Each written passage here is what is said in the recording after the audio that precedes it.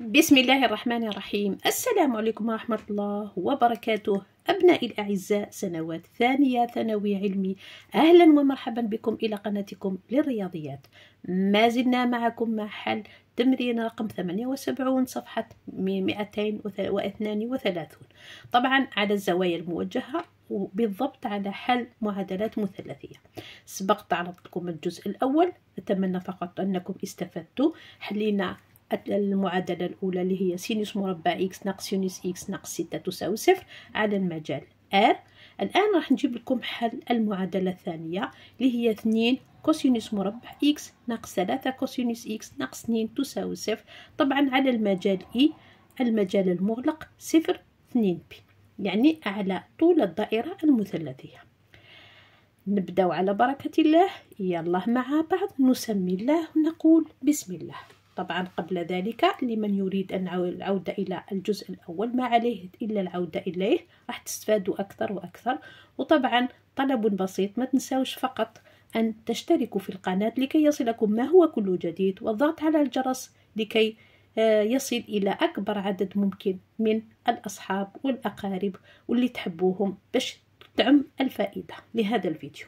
نبدأ على بركة الله. يلا مع بعض سموا معي بسم الله ونبداو على بركة الله.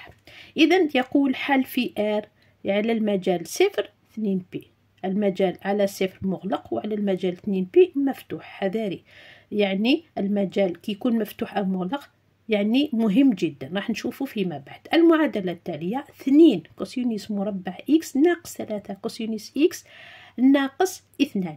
نلاحظ أن هذه المعادلة ذات المجهول cosinus وتقريبا مكتوبة مثل المعادلة الأولى كاين cosinus مربع ثم ناقص ثلاثة cosinus ناقص اثنين تساوي صفر. يعني ممكن نكتب هذه المعادلة على الشكل اثنين cosinus X. الكل مربع يعني نفس الكتابة ناقص ثلاثة cosinus X ناقص اثنين تساوي صفر. إذا بتغيير المتغير راح تخرج لنا معادلة من الدرجة الثانية. إذا ما علينا إلا أن نقول نفس الخطوات نتبع نفس الخطوات نقول نضع T أو Z أو Y فقط نتجنب X أي متغير أضعه يساوي cosinus X طبعا مع الشرط مع لازم T تاعي يكون محصور بين ناقص واحد وواحد. معنى ذلك كي نلقى الحلول لازم أتحقق أن T تاعي ينتمي إلى ناقص واحد وواحد لماذا أستاذة T تاعي محصور بين ناقص واحد وواحد؟ لأن ال cosinus في الدائرة المثلثية في الدائرة المثلثية تاعي عندما نرسم الدائرة المثلثية دائما هي محصورة بين ناقص واحد وواحد. هنا ناقص واحد وواحد. يعني الكوسينوس محصورة بين هذه القيم. يعني إذا لقيت كوسينوس أي زاوية يساوي اثنين أو ناقص اثنين أو ثلاثة أو أربعة فإن الزاوية غير موجودة. إذا إذا لقينا تي تاعي يساوي أي عدد يختلف أو لا ينتمي إلى هذا المجال سيصبح حلا مرفوضا. وبالتالي المعادلة تاعي تصبح تكافئ. إذا نكتب اثنين cosinus مربع X ناقص ثلاثة cosinus X ناقص اثنان راح تكافئ ما يلي. بعد تعويض تكافئ بعد تعويض T يساوي cosinus X. راح تصبح المعادلة تاعي كما يلي. شوفوا معايا. راح تصبح اثنين T مربع ناقص ثلاثة T ناقص اثنان تساوي صفر. أصبحت عندي معادلة من الدرجة الثانية A تاعي يساوي العدد اثنين معامل تاع T مربع هو اثنين معامل T هو ناقص ثلاثة إذا B تاعي تساوي ناقص ثلاثة والمعامل C تاعي هو ناقص اثنين. ما علي إلا تطبيق المميز؟ المميز دلتا كما قلت هو B مربع ناقص أربعة A C وبالتالي دلتا نعوض بالأعداد B هو ناقص ثلاثة إذا ناقص ثلاثة لكل مربع ناقص أربعة. A هو اثنين. في العدد C اللي هو ناقص اثنين. نتابع ويساوي. إذا هنا ناقص ثلاثة لكل مربع يخرج لي تسعة. ناقص في ناقص زائد أربعة في اثنين ثمانية ثمانية في اثنين ستة عشر. ويساوي تسعة زائد ستة عشر خمسة وعشرون. إذا دلتا تاعي شوفوا معايا دلتا يساوي خمسة وعشرين. أكبر تماما من الصفر. نقول نسمي هذه المعادلة مثلا نسميها المعادلة واحد. إذا نقول للمعادلة واحد حلين متمايزين. اللي هما T واحد حنسميه T واحد و T اثنين. إذا نحسب T واحد دائما نفس القانون. T واحد يساوي ناقص B ناقص جذر دلتا.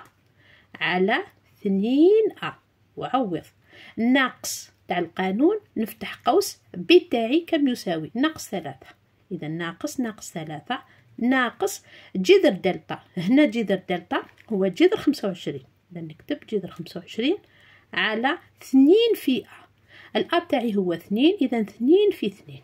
ويصبح يساوي ناقص في ناقص ثلاثة. ثلاثة ناقص خمسة جذر خمسة وعشرين هو خمسة على اثنين في اثنين أربعة ويساوي ثلاثة ناقص خمسة ناقص اثنان على أربعة. وكي نختزل على اثنين على اثنين راح يخرج لي ناقص واحد على اثنين. إذا لقيت الحل الأول تي واحد يساوي ناقص نصف وهو ينتمي إلى المجال ناقص واحد واحد. إذا هو حل مقبول. راح نشوف الحل الثاني ثم نكمل الحل. الآن الحل الثاني T اثنين قلنا حلين متميزين يساوي ناقص B زائد جذر دلتا على اثنين A. أتابع الناقص تاع القانون. B تاعي هو ناقص ثلاثة أعوض. زائد قلت جذر دلتا هو خمسة جذر خمسة وعشرين هو خمسة على اثنين في اثنين. ويخرج لنا؟ ناقص في ناقص ثلاثة. زائد ثلاثة زائد خمسة على أربعة. ثلاثة زائد خمسة ثمانية. ثمانية على أربعة يخرج لي اثنين. طبعا آه T اثنين آه T اثنين الحل الثاني يساوي اثنين. إذا حل مرفوض. إذا نكتب T الحل الثاني يساوي اثنين. والعدد اثنين لا ينتمي إلى المجال ناقص واحد واحد. وبالتالي فهو حل مرفوض. إذا عندي حل واحد فقط مقبول. إذا نكتب من أجل تي واحد يساوي ناقص نصف ثم نبدأ نكمل الحل. أتابع. إذا قلت راح نحل نكمل الحل من أجل تي واحد يساوي ناقص نصف. إذا شوفوا معايا حنا فرضنا أن تي تاعي ماذا يساوي؟ يساوي كوسينوس إكس إذا وبالتالي راح كوسينوس إكس تاعي يساوي ناقص نصف. طبعا تكونوا تعرفوا الزوايا المشهورة. نعرف أن في الدائرة المثلثية كي يجي ناقص نصف هنا نجي الدائرة على محور الكوسينوس عندما نسقط هذه على الدائرة المثلثية راح نلقاو أن هذه الزاوية هي الزاوية 2 بي على 3 طبعا هي إحدى الزوايا المشهورة اللي عندها الكوسينوس تاعها هو ناقص نصف. وبالتالي راح تصبح عندي كوسينوس إكس ماذا يساوي بدلا ما نكتب ناقص نصف؟ واش نكتب؟ نكتب كوسينوس 2 بي على 3 تذكرة بسيطة عندما تكون عندكم كوسينوس ألفا تساوي كوسينوس بيتا نعلم أن حلول هذه المعادلة قريتها من قبل ألفا تساوي زائد أو ناقص بيتا زائد اثنين ك بي. طبعا هذا في ار إذا كي يكون عندي المجال ار ولكن حنشوفو حنا في المجال تاعنا. إذا نطبق نفس القاعدة. إذا حلول هذه المعادلة هي إكس تساوي زائد. إذا نكتبها متفرقة هكذا. نفتح الحاضنة تاعي. إكس تاعي تساوي الزاوية بيتا اللي هي اثنين بي على ثلاثة زائد اثنين ك بي. أو نزيد أو إكس تاعي راح تساوي لي ناقص اثنين بي على ثلاثة زائد اثنين ك بي. طبعا ما ننساش أن ك تاعي هو عدد صحيح نسبي زد ينتمي إلى زد. هذا لقيت الحلول في آر. إذا هذه الحلول في آر ولكن حذاري.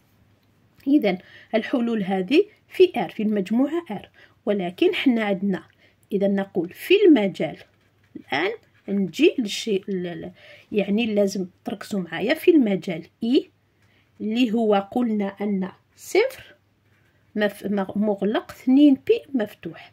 هنا راح أحاول أن أجد حصر لك إذا إيجاد حصر لك باش نلقاو الحلول في هذا المجال. كيف ذلك أستاذة؟ نبدأ بالحل الأول اللي هو 2 بي على 3 زائد 2 كابي إذا عندنا لدينا شوفوا معايا وركزوا معايا هي نفس الخطوات التي تطبق في أي معادلة. لدينا إكس تاعي ينتمي إلى هذا المجال. يعني إكس محصور بين هنا الصفر صفر ينتمي إلى المجال وأقل تماما من 2 بي حذاري هنا أقل تماما لأن المجال مفتح مفتوح. ثم بعد ذلك نأخذ الحل الأول. إذا نكتب الحل الأول اللي هو 2 بي على ثلاثة زائد 2 بي كا أو كا بي نفس الشيء. محصور راح يكون نفسه محصور بين صفر واثنين بي الخطوة الأولى راح نقول نضرب هذه المتباينة لأني ما عنديش القسمة في المتباينات في واحد على اثنين بي لكي آه، أتخلص من اثنين بي إذا نضرب المتباينة هذه أول خطوة في العدد شوفوا معايا واحد على اثنين بي الآن كي نضرب جميع الحدود في اثنين بي هنا صفر في اثنين في واحد على اثنين بي يخرج دائما صفر. أصغر أو يساوي حذاري هو عدد موجب إذا لا يغير من إتجاه المتباينة. هنا راح يكون اثنين بي على ثلاثة في واحد على اثنين بي زائد اثنين بي ك على اثنين بي أصغر تماما من اثنين بي على اثنين بي شفتو علاه خيرت اثنين بي باش يروح لي كامل اثنين بي لأنه عامل مشترك. الآن هنا دائما أتحصل صفر. أصغر أو يساوي هنا يروح لي اثنين بي مع اثنين بي يخرج لي واحد على ثلاثة. نمشي خطوة بخطوة.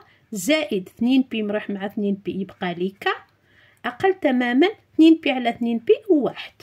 ثم على ماذا أتخلص؟ أتخلص من واحد على ثلاثة. نقول نضيف. في كل مرة ندير الخطوات. نضيف العدد الآن. واش نضيف باش يروح لي واحد على ثلاثة؟ نضيف العدد ناقص واحد على ثلاثة إلى أطراف المتباينة. نتحصل أو نجد على ما يلي. هنا كي نضيف واحد زائد ناقص واحد على ثلاثة يخرج لي ناقص واحد على ثلاثة. أصغر أو يساوي هنا كي نضيف ناقص واحد على ثلاثة زائد واحد على ثلاثة صفر يبقى لي ك فقط. أقل تماما من واحد ناقص واحد على ثلاثة. أتمنى فقط أنكم مركزين معايا. هنا يبقى دائما ناقص واحد على ثلاثة أصغر أو يساوي من ك أصغر أو يساوي. طبعا هذه العمليات درستوها في سنة أولى ثانوي. حصر عدد. إذا واحد نوحد المقامات ثلاثة تولي لي ثلاثة ناقص واحد على ثلاثة. إذا هذا راح يساوي لي اثنين على ثلاثة. إذا أخيرا ك تاعي محصور بين صفر واثنين على ثلاثة. إذا اثنين على ثلاثة بالتقريب شحال؟ إذا نديروه بالآلة الحاسبة بالتقريب صفر فاصل ستة وستين. إذا ك تاعي محصور بين صفر وصفر فاصل ستة وستين. ولكن نقول بما أن شوفوا معايا ما تنساوش أن ك تاعي ينتمي إلى زد. ينتمي إلى زد. عدد صحيح نسبي. إذا منه هو ك تاعي محصور بين صفر و اثنين على ثلاثة؟ وبالتالي شحال يصبح ك تاعي ك تاعي يديك قيمة واحدة فقط وهي صفر.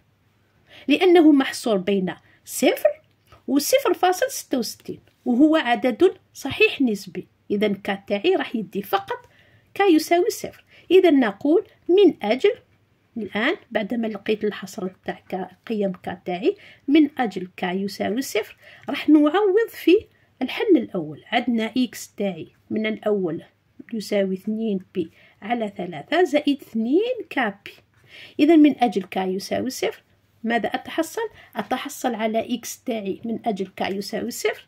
إذا إكس تساوي اثنين بي على ثلاثة زائد اثنين في صفر. عوض ك بالصفر في بي وبالتالي إكس تاعي راح يساوي لي اثنين بي على ثلاثة. إذا الحل الأول هو اثنين بي على ثلاثة. أتمنى فقط أن الطريقة واضحة للجميع. نتابع الحل. إذا إكس يساوي 2 بي على 3 حل المعادلة 2 كوسينوس مربع إكس ناقص 3 كوسينوس إكس ناقص 2 تساوي صفر. الآن استعملنا الحل الأول لقينا قيم ك الآن راح نستعمل الحل الثاني اللي هو هذا الحل. إكس أو يساوي, يساوي عفوا ناقص 2 بي على 3 زائد 2 ك بي ونلقاو قيم ك. عندنا دائما إذا تعيين قيم ك. تعيين قيم ك.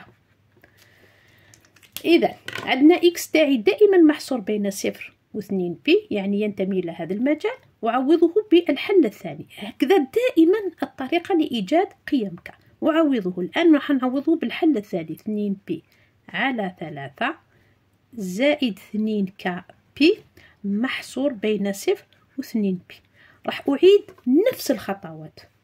نفس الخطوات. إذا أولا راح نضرب نضرب في العدد. دائما أعيدها. واحد على اثنين بي إذا هنا تخرج لي دائما صفر. ثم بعد ذلك يروح لي آه، اثنين بي مع اثنين بي يخرج لي ناقص. هنا فقط ناقص واحد على ثلاثة. زائد يروح لي اثنين بي يبقى لي ك أقل من اثنين بي على اثنين بي يبقى لي واحد. ثم بعد ذلك هنا نضيف العدد نفس الخطوات العدد واحد على ثلاثة لأطراف المتباينة.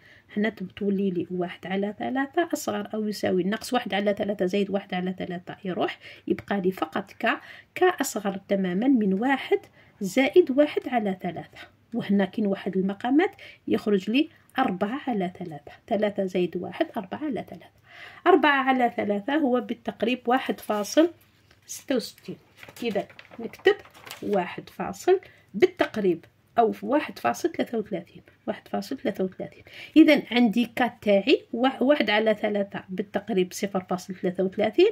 أصغر أو يساوي من ك وأصغر تماما من واحد فاصل ثلاثة وثلاثون. ما نساش أن كات تاعي ينتمي إلى الأعداد الصحيحة النسبية إلى زاد إذا منه شوفوا معايا شوفوا معايا ندير لكم خط فقط. إذا هندي الصفر. إذا عندي الأعداد هنا الموجبة وهنا الأعداد السالبة. الآن عندي كات تاعي محصور بين واحد إذا هنا واحد فاصل ثلاثة وثلاثين. بالتقريب هنا واحد فاصل ثلاثة وثلاثين. وبين صفر فاصل ثلاثة وثلاثين بالتقريب هنا صفر فاصل ثلاثة وثلاثين. إذا ما هي قيم ك حيث ك تنتمي إلى زد إذا راح ندي صفر والواحد إذا منه قيم ك هي ك تساوي صفر أو ك تساوي واحد. إذا راح نشوف الحلول. أولا نبداو من أجل ك يساوي صفر. الحل الثاني راح نعوضه بهذا الحل.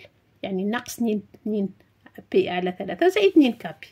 إذا عندي ناقص اثنين بي على ثلاثة زائد اثنين في صفر في بي يصبح الحل الثاني إكس يساوي ناقص اثنين بي على ثلاثة. الحل الثالث من أجل ك يساوي واحد أتحصل على إكس يساوي ناقص اثنين بي على ثلاثة. زائد عوضا ما نكتب ك واش نكتب؟ ك في واحد اثنين في واحد عوض ك بالواحد في بي يصبح ناقص اثنين بي على ثلاثة. زائد هنا اثنين في واحد في بي تصبح اثنين بي ثم أوحد المقامات. هنا على واحد نضرب في ثلاثة في ثلاثة. تصبح عندي هنا ستة. ستة ناقص اثنين يخرج لي أربعة. بي على ثلاثة. إذا الحل الثالث هو أربعة بي على ثلاثة. إذا جملة الإجابة راح نكتب حلول المعادلة 2 كوسينوس مربع إكس ناقص 3 كوسينوس إكس ناقص 2 تساوي صفر. هي نجمع جميع الحلول. الحل الأول هو كتبناه من قبل إكس يساوي 2 بي على 3 وناقص 2 بي على 3 و4 بي على 3 نبداو بالحل السالب. نكتب ناقص 2 بي على 3 2 بي على 3 أخيرا 4 بي على 3 إذا المعادلة تقبل ثلاث حلول. إذا أتيت إلى نهاية هذا الفيديو. بالتوفيق للجميع. سلام الله عليكم. ما تنسوناش بالتعليقات واللايكات الجميلة منكم. إذا والاشتراك في القناة ليصلكم ما هو كل جديد. سلام الله عليكم. إلى الملتقى إن شاء الله.